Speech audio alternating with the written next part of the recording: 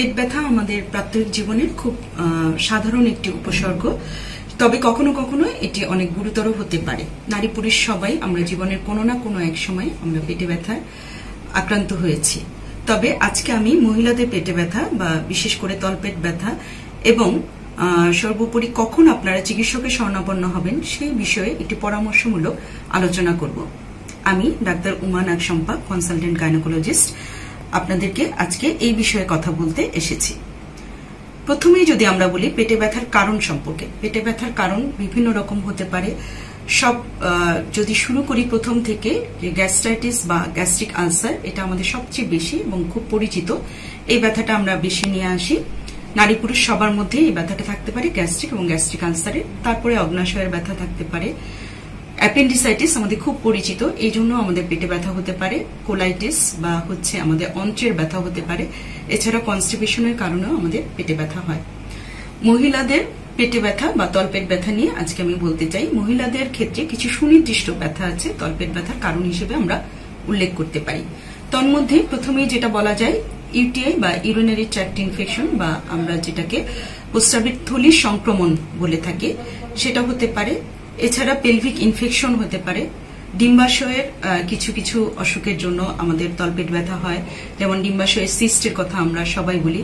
ডিম্ব স্ফুরণের সময়, আমাদের মাসিকের মাঝামাঝি সময় আমাদের একটি করে ডিম ফুটে এবং এই ডিম থেকে আমাদের বাচ্চা ধারণ করি আমরা।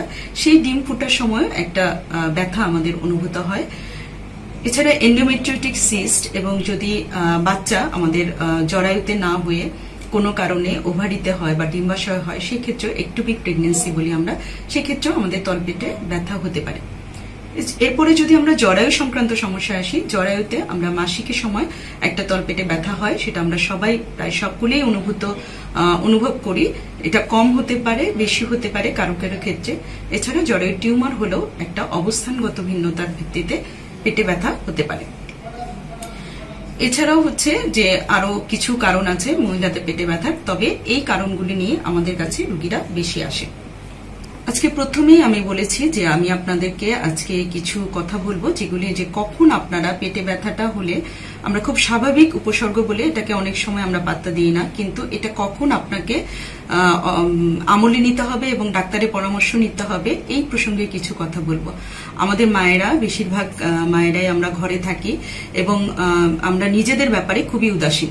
সেই ক্ষেত্রে হচ্ছে আমি সেই মায়েদের এবং যারা চাকরিজীবী মারা আছেন, তারা, তারাও হচ্ছে অনেক ক্ষেত্রে মেয়েরা আছেন। যারা হচ্ছে নিজেদের কে সঠিক সময় দিতে পারি না, নিজেদের সঠিক পরিচর্যা করতে পারি না, সেই জন্যই আমি আজকে বলতে এসেছি যে ঠিক কখন, কোন সময়ে আপনার ডাক্তারের পরামর্শ খুবই জরুরি। এই বিষয়ে আমি কথা বলব। প্রথমে যদি আসি, আমি বলেছি যে পেটে ব্যথার কারণগুলির মধ্যে খুব কমন যেটা আমরা প্রতিটা মেয়ে আমরা অনুভব করেছি আমাদের এই জীবনে, সেটি হল মূত্রথলি সংক্রমণ বা সিস্টাইটিস বা ইউরিনারি ট্র্যাক্ট ইনফেকশন আমাদের কোনো না কোনো সময়ে আমরা সবচেয়ে বহুল অনুভূত যে ব্যথাটি, এটি হচ্ছে ইউরিনারি ট্র্যাক্ট ইনফেকশনের ব্যথা বা সিস্টাইটিসের ব্যথা। আমাদের অবস্থান মেয়েদের এই ব্যথাটি বেশি, পুরুষদের তুলনায় বেশি হয় এবং আমরা এটা বেশি অনুভব করি। এটার কিছু গঠনগত কারণে এবং কিছু আমাদের অভ্যাসগত কারণের কারণে হয়। গঠনগত কারণে আমাদের মূত্রথলির দৈর্ঘ্য কম হওয়ায় এটি সংক্রমণ প্রবণ বেশি হয়। আর অভ্যাসগত কারণ বলতে আমরা মেয়েরা প্রায় সময় আমাদের প্রস্রাবটাকে আটকে রাখি, যথাসময়ে প্রস্রাব করি না। এই প্রস্রাব আটকে রাখার অভ্যাসের কারণে আমাদের ইউরিনারি ট্র্যাক্টের ইনফেকশন বা সংক্রমণ হতে পারে। প্রথম কথা হচ্ছে যে আমরা এটা কীভাবে বুঝব যে আমাদের ইউরিনারি ট্র্যাক্ট ইনফেকশন বা সিস্টাইটিস হয়েছে? তলপেটে ব্যথা তো অবশ্যই থাকবে, পেটের ঠিক মাঝ বরাবর আমাদের নিচের দিকে ব্যথা করবে এবং সেই ব্যথার সাথে কিছু প্রস্রাবের উপসর্গ থাকবে। যেমন ঘন ঘন প্রস্রাব হওয়া, প্রস্রাবে জ্বালা পোড়া করা, প্রস্রাব ধরে রাখতে না পারা, বাথরুমে যাবার পূর্বেই প্রস্রাব হয়ে যাওয়া যখন আপনার এই উপসর্গগুলি থাকবে, আপনি অবশ্যই একজন বিশেষজ্ঞ ডাক্তারের পরামর্শ নেবেন। কারণ আপনি যদি এই রোগটিকে অবহেলা করেন, তাহলে এই রোগটি ধীরে ধীরে আপনার বৃক্ক বা কিডনির দিকে চলে যাবে এবং কিডনিতে যখন ইনফেকশন হবে, তখন অনেক সময় এটা কিডনি বিকল হয়ে যেতে পারে এবং পরিশেষে আপনাকে জীবনঘাতী পাইলোনেফ্রাইটিস রোগ হতে পারে। এই জন্য আপনারা প্রথমেই এই জিনিসগুলো বুঝবেন এবং আমার আশা থাকবে প্রাথমিক অবস্থাতে আপনার চিকিৎসকের শরণাপন্ন হবেন এবং ভালো সুচিকিৎসা নিয়ে আপনারা ভালো থাকবেন। এরপরে যে কথাটি আসে, সেটা হলো পেলভিক ইনফেকশন রিপ্রোডাক্টিভ এজের মহিলারা যারা পনেরো থেকে পঁয়তাল্লিশ বছর, তাদের মধ্যে এই সংক্রমণের সম্ভাবনা খুবই বেশি। পেলভিক ইনফেকশন হলে আমরা কীভাবে বুঝব? পেলভিক ইনফেকশনে প্রথমেই তলপেটে ব্যথা তো থাকবে তার সাথে সাদা স্রাব, মাসিকের রাস্তা দিয়ে সাদা স্রাব যাওয়া সাথে চুলকানি থাকতে পারে অথবা নাও থাকতে পারে। এবং সহবাসে ব্যথা করবে, সহবাসে পরে রক্ত যেতে পারে। এই জিনিসগুলি যদি থাকে, তাহলে আপনারা অবশ্যই ডাক্তারের পরামর্শ নেবেন। কারণ এই জিনিসগুলি দেখা গেছে কোনো কোনো ক্ষেত্রে দু একদিনের মধ্যে নিজে নিজে ভালো হয়ে যায়। তবে যখন এই ইনফেকশনটা ভালো হয়ে যায়, কিন্তু বারবার হয় বছরে দুইবার, তিনবার হচ্ছে ডিসচার্জটা থেকেই যাচ্ছে, অল্প অল্প পেন থেকে যাচ্ছে। সেই ক্ষেত্রে আপনাকে অবশ্যই ডাক্তারের পরামর্শ নিতে হবে।